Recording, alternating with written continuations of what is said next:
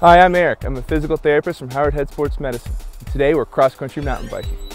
The better you train, the more enjoyable and safe your rides will be.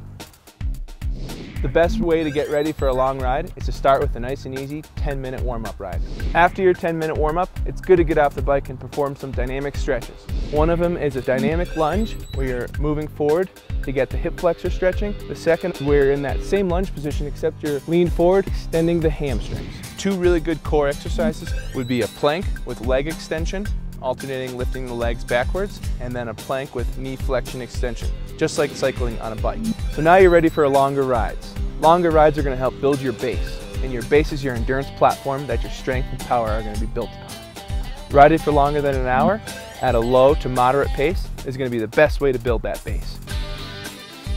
So now that you've put all that time into training, let's roll.